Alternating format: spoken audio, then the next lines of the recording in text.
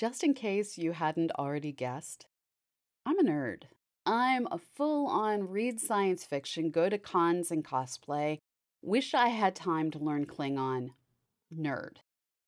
This means that sometimes when I read science stories, I get excited at the possibilities the new discoveries offer novelists and showrunners. I really want to see the story about living on a planet locked so one side always faces the sun. I I want to see the accurate disaster story where a civilization has to escape their world in the face of a magma plume causing mass extinctions. I want today's science in tomorrow's space operas, but only to a point. In today's episode, we have stories that had me thinking this is how you get Cylons, and I do not want Cylons. And I may have actually stated, I think this is the plot to Snowpiercer, just before reading assurances that one team's science would not lead to Snowpiercer.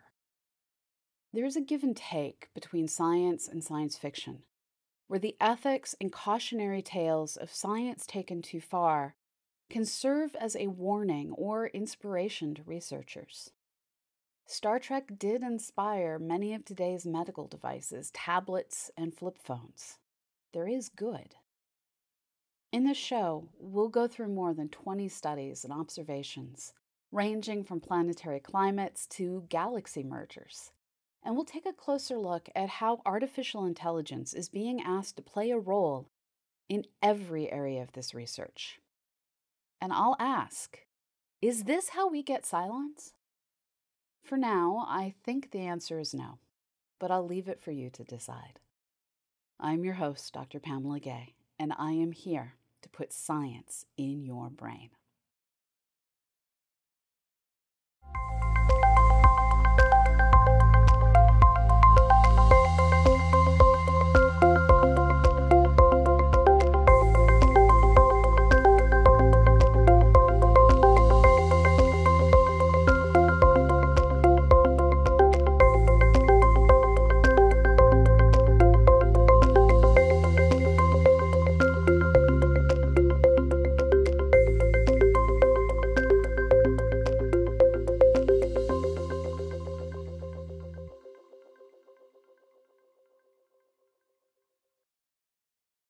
Last Sunday, I caught a couple headlines that caused me to go, nope, that cannot be real science.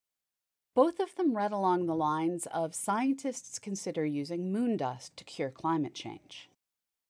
And on Monday morning, I learned those headlines were actually pretty spot on and described an actual proposal published in the journal PLOS Climate written by Benjamin C. Bromley, Sameer Khan, and Scott Kenyon. This paper, titled Dust as a Solar Shield, considers the possibility of blasting dust from the moon toward the gravitational balancing spot between the Earth and the Sun.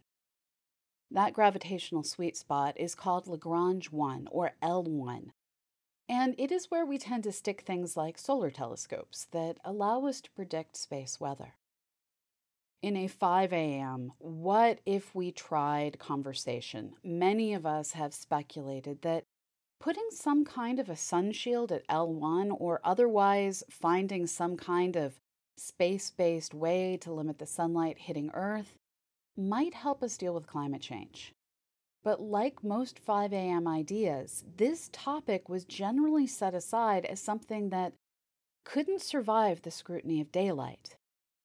But with climate change research saying we can no longer prevent our planet's average temperature from increasing more than 1.5 degrees Celsius, some of those late night ideas are starting to see serious consideration. In this paper, Bromley, Khan, and Kenyon consider two scenarios. In the first, they place a theoretical large space station at L1. Due to L1's 1.5 million kilometer distance, any station we could build would do essentially nothing to block sunlight. If, however, the station could constantly spread dust, like an overly aggressive salt truck on an icy road, that dust could spread out to effectively decrease the light reaching Earth. for a couple of days. Well, L1, like its partner L2, is a fairly stable place to put a spacecraft like Solar Dynamic Orbiter or JWST. It is not stable enough for dust to stay put when it is also getting blown about by solar winds affected by radiation or tugged by the regular motions of solar system objects. Since we don't have a perpetual dust machine, this idea isn't very practical. But the creativity of scientists doesn't tend to take that's not practical as an answer. And this brings us to destroying the moon. In an idea that I'm pretty sure would require an amendment to the 1967 Outer Space Treaty, this team went on to calculate if it would be possible to put dust fired from the moon onto the correct trajectory to get it to maintain a position between the Earth and the Sun such that the dust would create a bit of shade for good old planet Earth before the dust dissipated. According to the team, quote, the amount of dust required for a solar shield is large, comparable to the output of a big mining operation here on Earth. End quote. And that is doable. Messy, disfiguring, expensive, but doable. As Kenyon says, quote, it is astounding that the sun, earth, and moon are in just the right configuration to enable this kind of climate mitigation strategy. End quote. When I initially read the paper, my first thought was, this feels like how you get Snowpiercer, and I don't want to live in the universe of Snowpiercer. Amusingly, the researchers addressed this concern head on stating in a Harvard Smithsonian press release, quote, one of the biggest logistical challenges, replenishing dust streams every few days, also has an advantage. The sun's radiation naturally disperses the dust particles throughout the solar system, meaning the sun shield is temporary and particles do not fall onto Earth. The authors assure that their approach would not create a permanently cold, uninhabitable planet, as in the science fiction story Snowpiercer. End quote. I, I hope we find other ways to mitigate climate change before we have to do anything this intensive. But the option is there. And the rest of this week's news on climate change makes me reluctantly glad that folks are thinking so far outside the box. Our world is a planet, and this is your periodic reminder that Earth science is planetary science. Researchers who study glaciers here on Earth may also study ice interactions on worlds like Europa. And it is through our combined observations of science in every environment that we can fully understand this world and worlds beyond our solar system. Glaciers are one of the most powerful variables in Earth's history and its future. New research led by Robert Law looked at the structure of ice through the full thickness of glaciers in Greenland. These borehole measurements made it clear that our current simplified models can't adequately predict the kinds of ice found in varying thickness over the length of a glacier as it passes over complex landscapes. By adding more sophisticated ways of handling energy to new computer models, his team can replicate what is observed and see what is actually happening. They find that where moving glaciers collide with hills and other obstacles, pressures build in the ice and softer forms of ice, temperate ice, form. As Law describes it, quote, because of this hilly landscape, the ice can go from sliding across its base almost entirely to hardly sliding at all, over short distances of just a few kilometers. This directly influences the thermal structure. The temperate ice that forms contains water and allows material above it to more readily slide. Law goes on to explain that this temperate ice layer can act as a bridge between hills, facilitating the fast motion of the much colder ice directly above it. The melting of the Greenland ice sheet is the single largest contributor to global sea level rise, and these new models have so far been tested against observed data. Their next step will be using the models to refine predictions of ice movement and melting. While the melting of Greenland's ice sheet is an existential crisis like few others, its glaciers don't pose a day to day threat to very many people. Fulfilling that role on the global hazard map are the glaciers of Peru, India, Pakistan, and China. Fast flowing glacial lake outburst floods occur when meltwater bursts from lakes and races down mountains and through valleys. These floods can burst dams, shatter bridges, and destroy hydroelectric facilities, and wipe out entire villages. In a new paper in Nature Communications, researchers led by Carolyn Taylor demonstrate that 15 million people live within 50 kilometers of a glacial lake, with 9.3 million of those people residing in the region of the high mountain Asia, which encompasses the Tibetan Plateau. While the Asian glaciers are reasonably well studied, the research team points out there is less understanding of glacial lakes in the Andes and research is urgently needed. Ultimately, much of the meltwater from these glaciers will make its way to the sea. According to NASA, sea level along the U.S. coast could rise 12 inches by 2050, and a longer term study by the National Oceanic and Atmospheric Administration predicts a total rise of 3.5 to 7 feet by the end of this century. This is within the lifetimes of today's young children. And a new study led by Ebru Kirezci that appears in Frontiers in Marine Science shows that these changes to our coastlines will devastate economies with a cost of roughly 3% of the global gross domestic product. The regions most affected, Asia, West Africa, and Egypt, are the ones least able to shoulder these costs. Wealthy nations can raise buildings, create coastal mitigation features, and otherwise architect their way out of the worst effects. As study co author Ian Young explains, quote, developing nations will be devastated, both in terms of people impacted and their economies. If the money to mitigate this impact in developing countries is not found, communities will be forced into coastal retreat and there will be significant social disruption, including an increase in climate refugees across borders.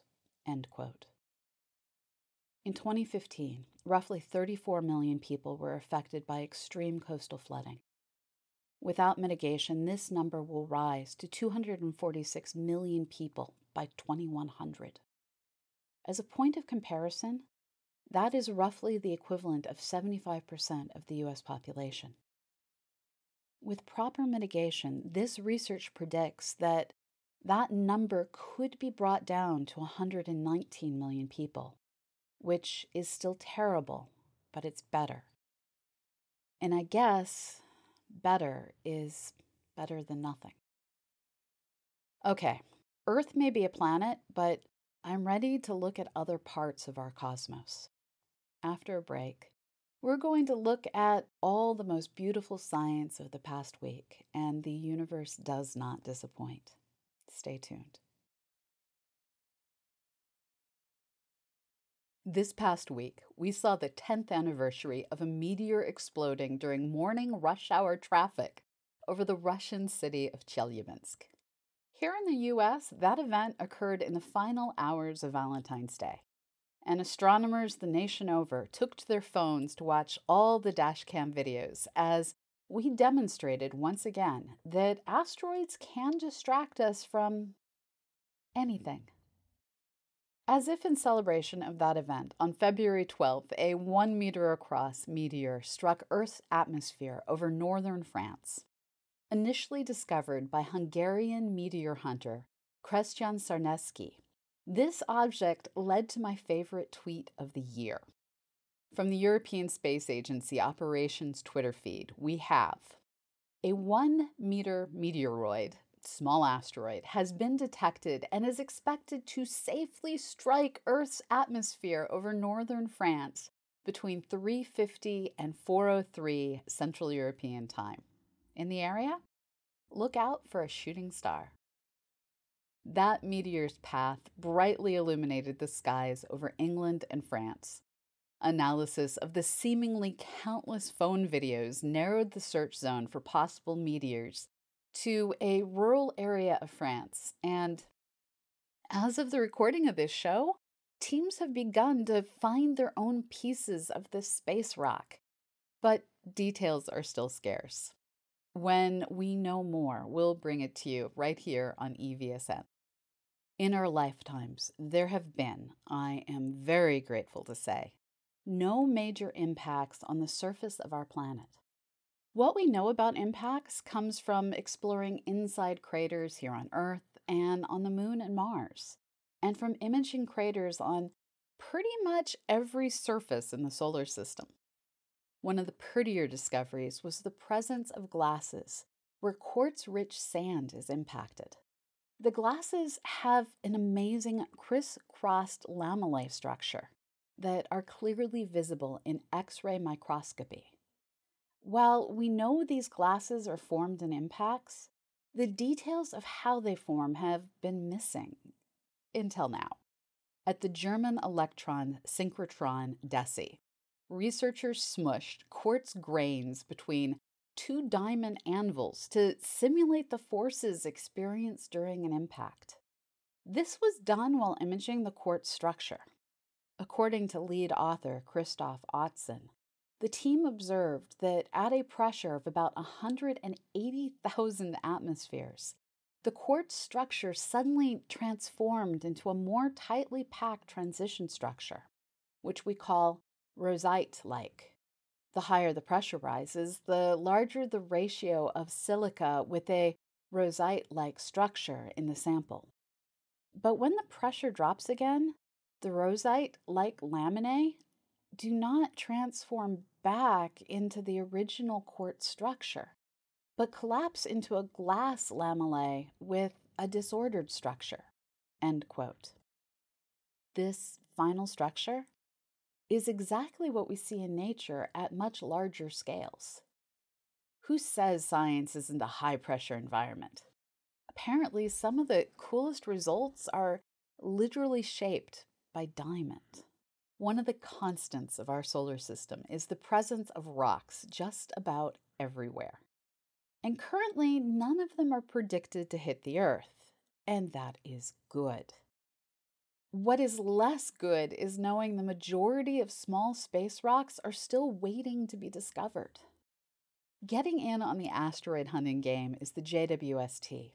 During its calibration period, JWST's mid infrared instrument quite accidentally imaged a previously unknown asteroid that appears to be 100 to 200 meters in size and is located on the inner edge of the main asteroid belt.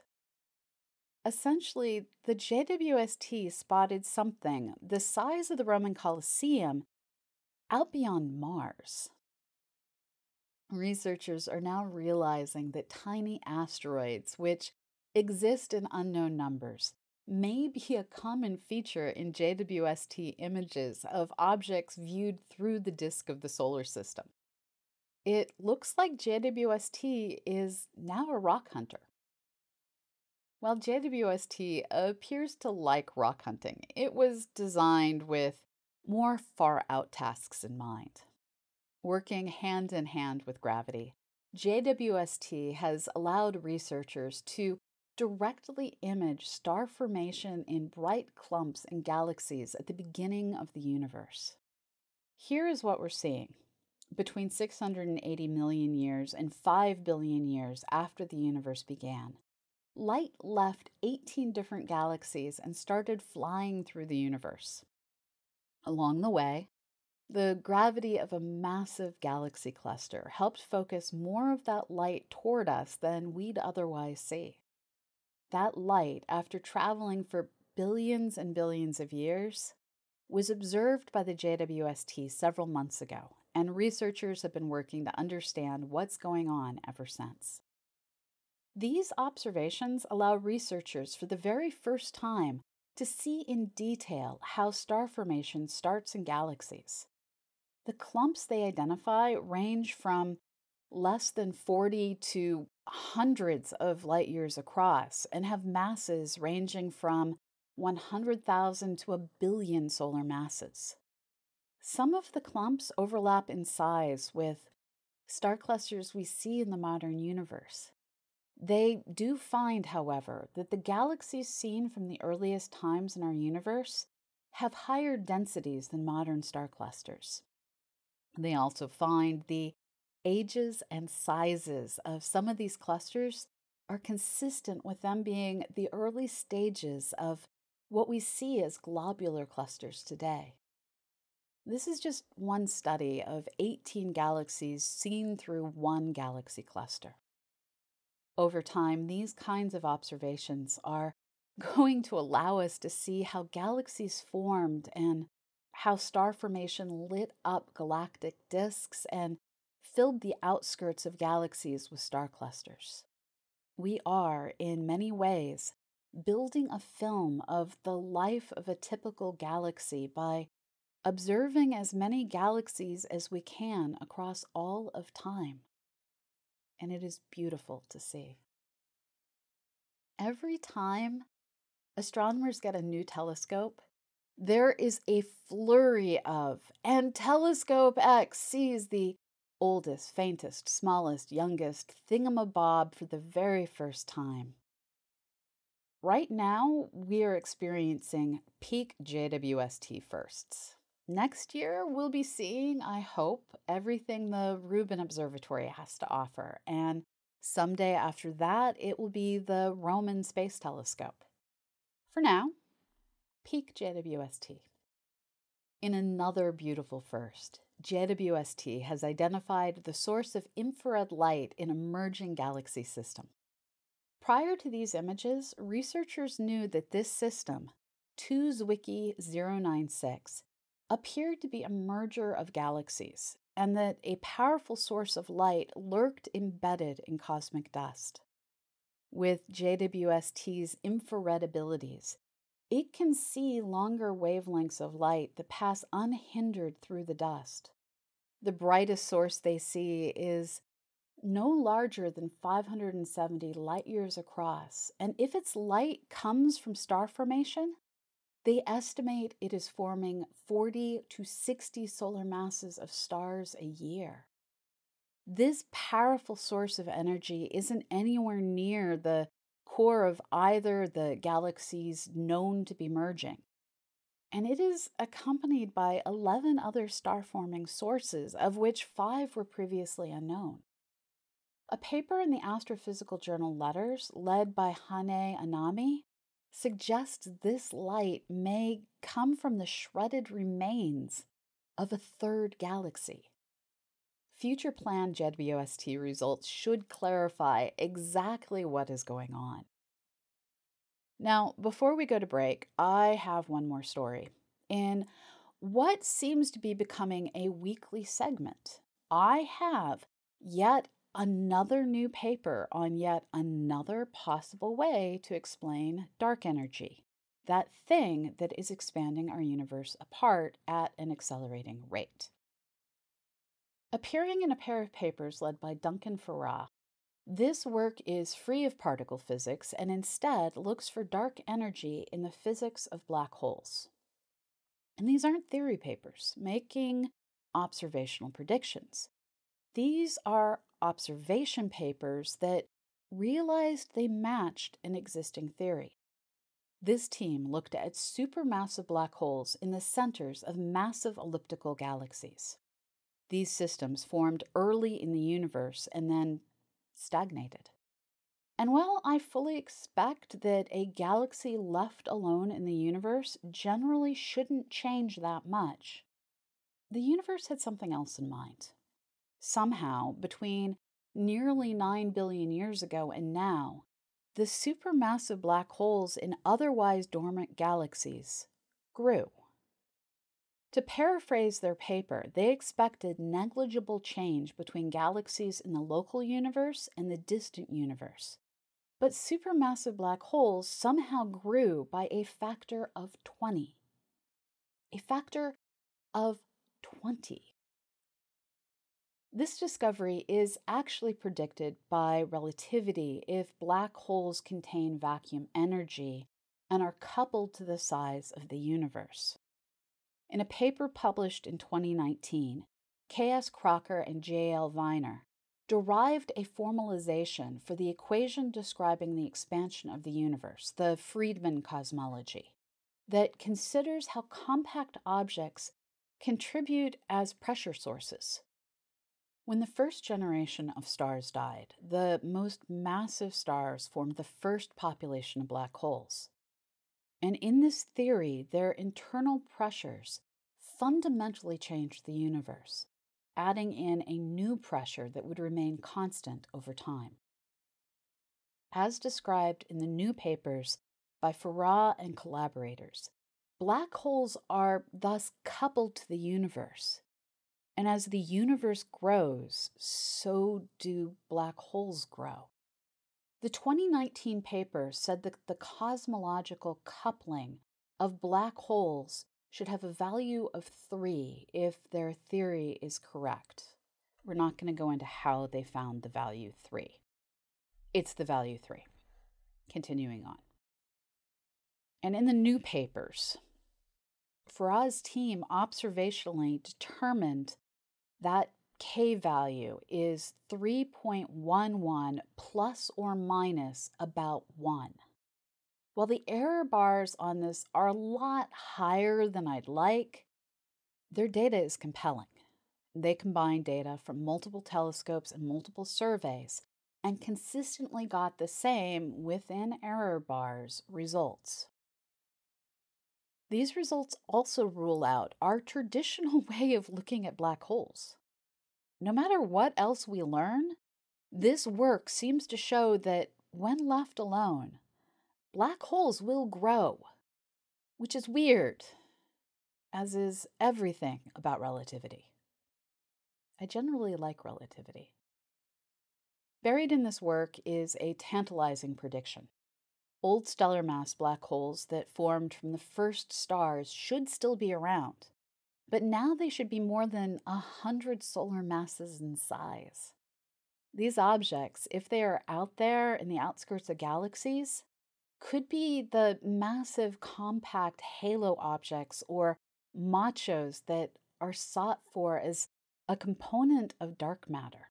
This has potential effects on what kinds of gravitational waves we'll see from merging black holes and what we may see in terms of gravitationally lensed gamma ray bursts, growth rates of quasars in the early universe, and many other observable factors.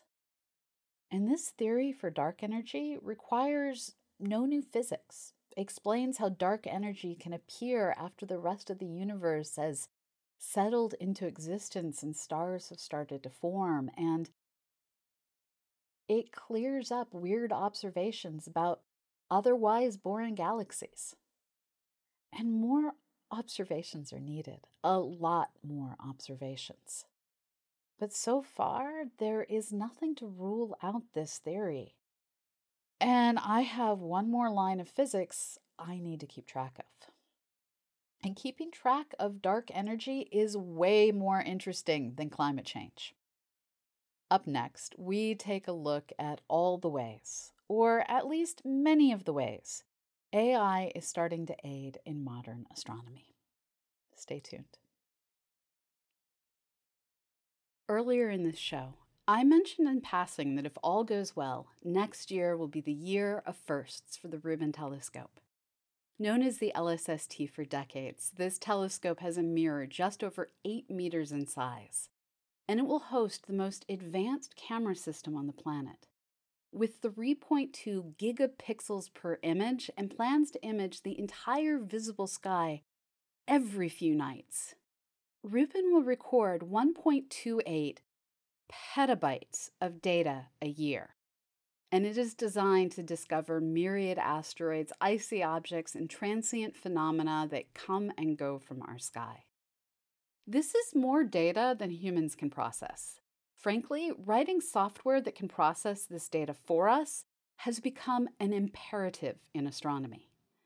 And this is where we need AI. The goal is simple.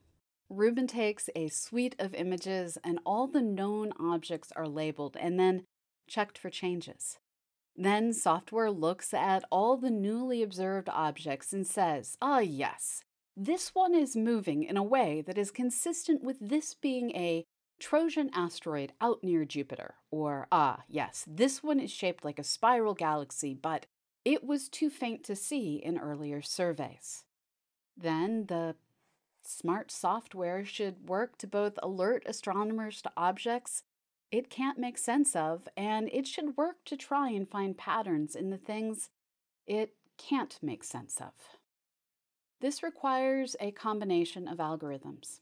We need what are called supervised machine learning algorithms that are fed training data that teaches the software this is a spiral galaxy, this is an irregular galaxy, and so on and so on, so that the software sees in the data specific patterns astronomers know to look for.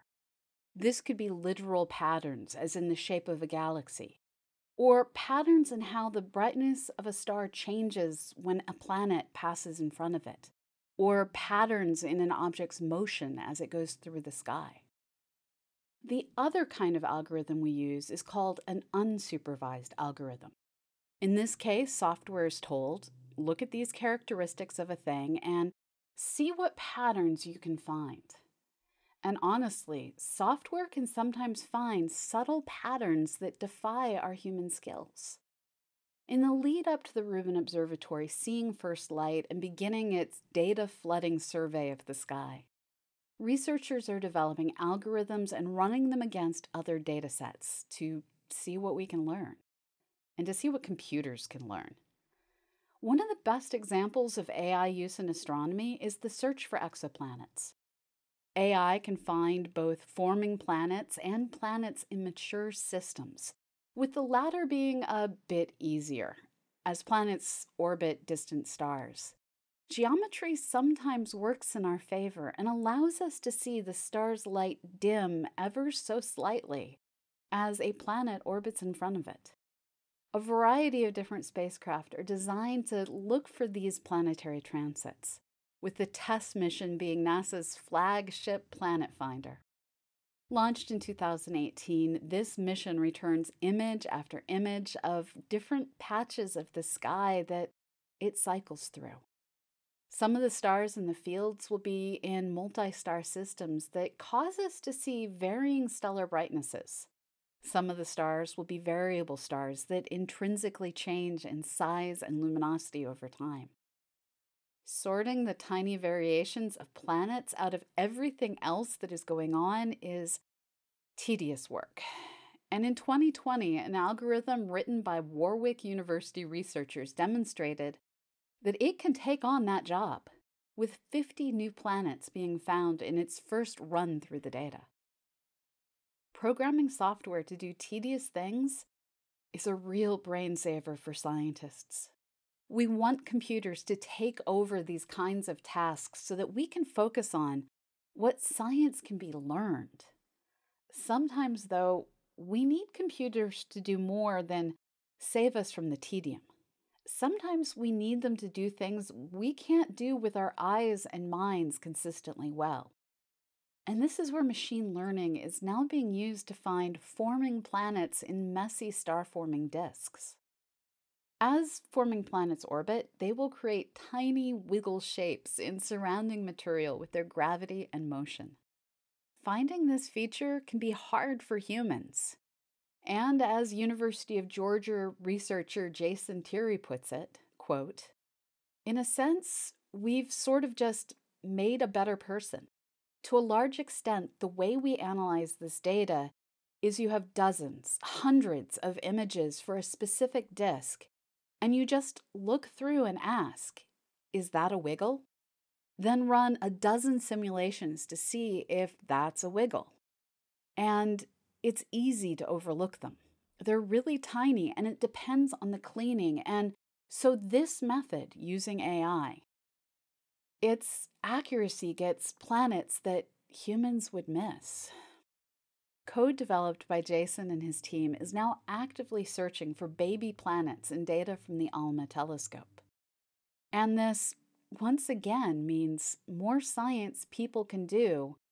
And in this case, humans can hand off to computers the challenge of finding planets, which is really something computers do better. And some tasks are both hard and tedious, and potentially can yield amazing results. And these are tasks we really want computers to do for us.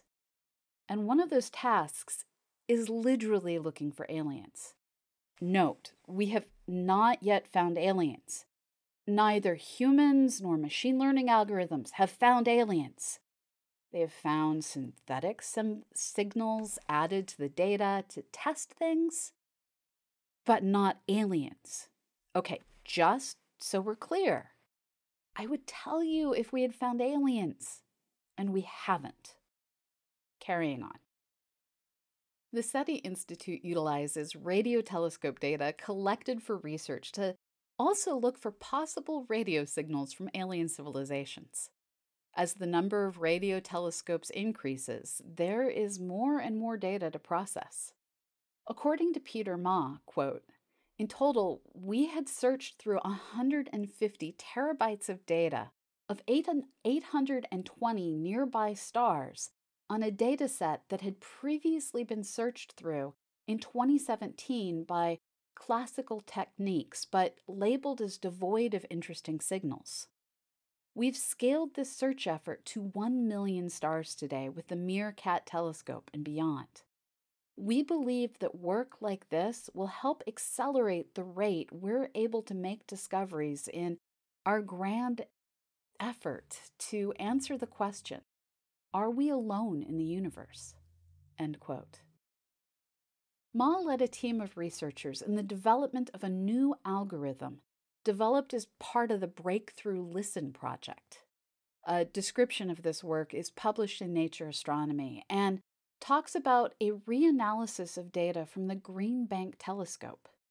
The algorithm successfully flagged data that had specific characteristics typical of artificial signals including being in a narrow band of radio frequencies, being localized in position, and shifting in frequency in ways that match the Earth and the receiver's motions.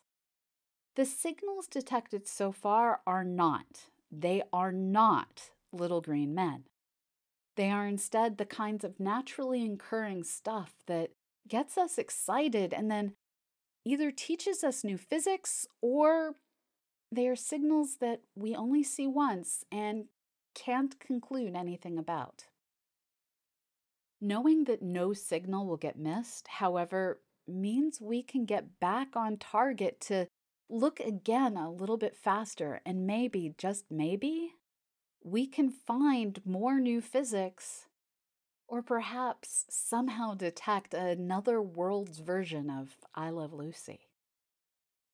At the root of all artificial intelligence algorithms is pattern matching. Humans are really good at pattern matching, but we'll also imagine the face of Stalin on a shower curtain and see eyeballs in poached eggs. And don't forget that famous face we all saw on Mars. Humans are good at finding simple patterns like faces and we'll find them even where they aren't, just like a face swap app gone mad.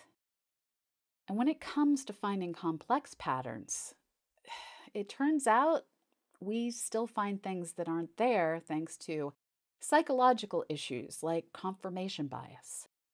And we miss patterns that require too many variables to be considered. Terrestrial weather predictions require software models. And predicting space weather is a good job for AI. Northumbria University physicist Andy Smith is one of the folks working on this task, and he explains, quote, "The technology we are developing through this project could protect the Earth from the impact of geomagnetic storms as we could predict when such events would occur, allowing us to prepare. For example, in the UK, this would be coordinated through the Met Office, which would inform the national grid, which would in turn activate plans to protect our power grid. It's not a case of the Earth will be hit by a serious space event. It's a case of when. And this physics inspired artificial intelligence system will allow us to predict such an event and protect ourselves from it. End quote. And Smith and his team are actively generating this AI that will make the predictions we need. Software that can learn the way humans can learn is coming. Some would even say it's already here. Software is capable of reviewing more data and finding more complex relationships and patterns than humans. Software, however, can't as easily say, oh, that's a mistake. ChatGPT falls victim to fake news and parody information. Software can't use a gut feeling to guess at when it needs to double fact check information in Wikipedia or make sure that a posted image of SpaceX's latest test isn't just someone's data visualization. For now, the more AI software sees how humans classify data, the more it's going to learn patterns. It is still inexact. There are famous issues of software deciding the best way to distinguish between wolves and dogs was to check the images for snow. Still, when we are consistent in our behavior, software can learn to do what we do when the tasks are recurring. Where humans for now are unique is in our ability to say, let's look at the physics, the chemistry, the root science underlaying everything the software is labeling, and let's figure out from first principles how all of this works. Computers can say, this is a trend, but we remain the one thing that can answer why is that happening? And when that changes, that is something I leave for science fiction writers to address. After the break, we're going to have on aerospace correspondent Eric Mattis to talk about this week's launches and talk about the troubled Russian capsule cooling systems. Stay tuned.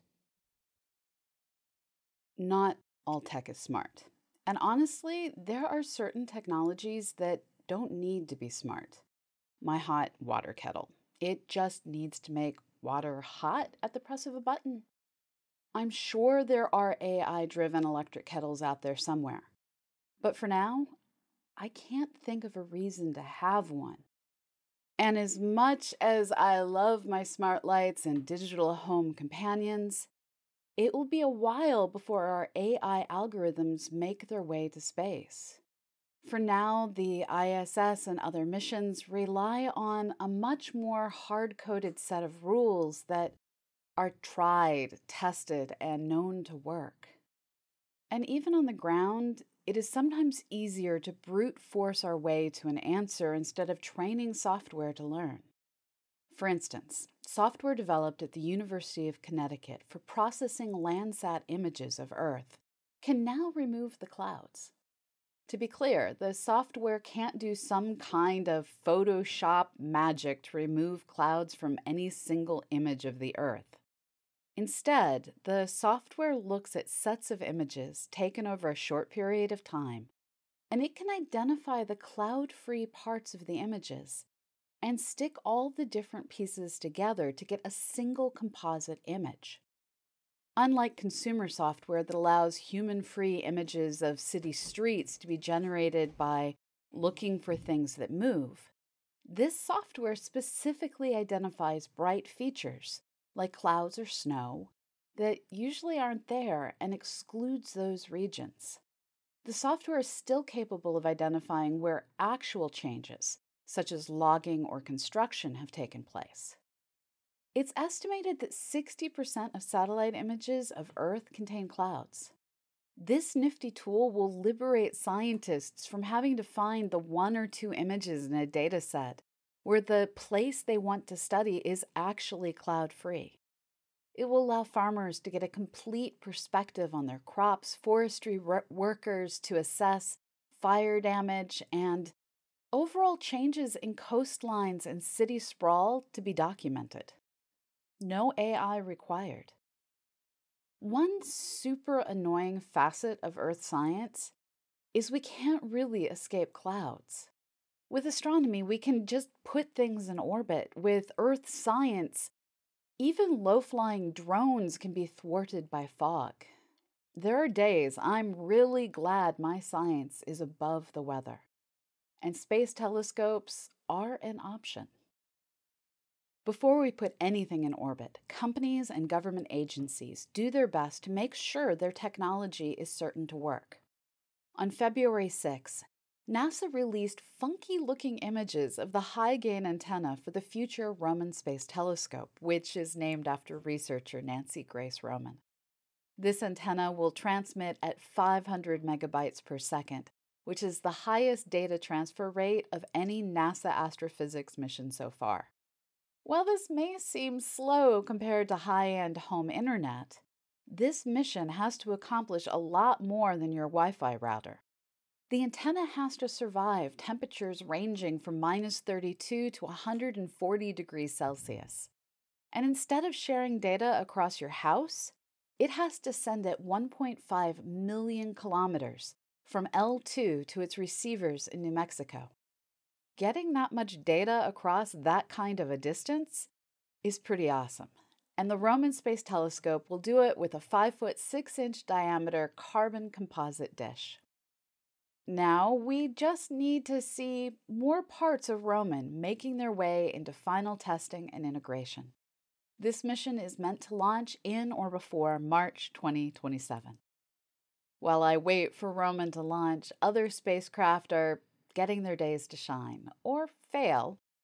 And this, I couldn't even keep track of what all happened. And I'm grateful to welcome aerospace correspondent Eric Mattis on to talk launches. Hey, Eric. Hey, Pamela. This week has been a wild one, with breaking news coming in right up to our recording time. First up in this week's Rockets update is more news on the troubles with Russian spacecraft docked to the space station. As you may remember from this past December, the Soyuz MS 22 spacecraft sprung a leak in its primary exterior cooling loop right before two cosmonauts were about to perform a spacewalk on the Russian side of the station. At the time, Russia stated that the leak was caused by a micrometeoroid, a small piece of orbital debris in orbit near the station. Because of that, Soyuz MS 22 was declared unfit for crew return, and the next Soyuz to go up, Soyuz MS 23, was reassigned to launch uncrewed and bring them back to Earth. Russia has launched a Soyuz for this purpose before, but not for several decades. The crew of Soyuz MS-22 would return at the end of Soyuz MS-23's nominal mission, spending about a year in space. This past week, another Russian spacecraft at the station, Progress MS-21, suffered an almost identical cooling loop failure. Roscosmos briefly considered delaying the launch of Soyuz MS-23 to investigate the issue, but were reluctant to do so because the vehicle was already filled with its propellant. The propellant is so corrosive that once it touches the tank, it cannot be drained or refilled later. So, for better or worse, Soyuz MS-23 will launch uncrewed into space no earlier than the week of February 20th. And Roscosmos reported on their official telegram that the spacecraft had been inspected and, quote, no maliciously drilled holes were found, unquote. The almost identical failure of two similar cooling loops three months apart calls into question Russia's explanation for the failure of Soyuz MS-21's radiator, namely that it was caused by a micrometeoroid. While lightning often hits the same place twice, micrometeoroids less so. Speculation now points to a manufacturing defect. We'll discuss how the retirement of the Apollo generation of engineers are changing the face of spaceflight in a future episode, once Soyuz MS 23 makes it safely to Earth. In more positive news, the Indian Space Research Organization, ISRO, successfully launched their new small satellite launch vehicle, the SSLV is a four stage rocket with a solid first through third stages and a liquid propellant fourth stage. Interestingly, the second stage starts up just before the first stage fully cuts off. This is what's known as a hot stage. Hot staging is typically only seen in liquid propellant rockets, which use it to settle the propellant in the bottom of the tank before burning free, instead of using small thrusters dedicated to the purpose. This was the second attempt to launch an SSLV. The first launch of an SSLV ended in failure back in August 2022 when the launch vehicle's guidance computer and accelerometers were overloaded due to shock and separation of the second and third stages. That caused the final stage of the rocket to revert to a backup software program and fire its engine for only 10 seconds instead of the planned 100 seconds. The second flight carried a small satellite built by ISRO to do remote sensing, EOS 7, and two CubeSats. One of the CubeSats carried a software defined satellite built by American company Antaris. The other, named AZADISat 2, was built by a team of 750 Indian schoolgirls, organized by a company called Space Kids India. AZADISat 2 was the third satellite made by the group, all of which have been launched on Indian rockets. The purpose of the satellite was to give economically disadvantaged children the experience of building and launching something into space. The four payloads on AZADISat 2 included a transmitter programmed with two songs, a radiation counter, an expendable structure, and a board with 75 payloads, one from each of the schools that took part in the project. The first AZADISat was lost on the maiden launch of the SSLV, so it's good that they are able to try again. The other launch this week was yet another Starlink. It was successful, delivering 55 satellites into orbit. And now for some statistics for a few of the things that are in orbit around the Earth. There are still nine toilets in space four on the ISS, two on the Tiangong space station, one on Shenzhou 14, one soon to be burned up on Soyuz MS 22, and one on Crew Dragon Freedom. We keep track of orbital launches by launch site, also called spaceport. According to RocketLaunch.live, so far this year, the US has had 12 launches, China 5, Kazakhstan 2, and India, Japan, and the United Kingdom have each had one. Of these 22 launches, there have been two failures, reminding us that space is hard. Thanks, Eric. I know the MS 23 has been frustrating to cover. As we prepared this show, it went from set to launch this weekend to delayed to March to delayed for an unknown duration. I appreciate you sticking with the news as it happens.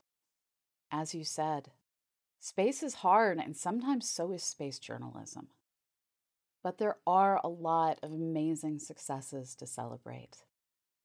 One of the more remarkable things that happened was the February 18th, 1930 discovery of planet classic Pluto.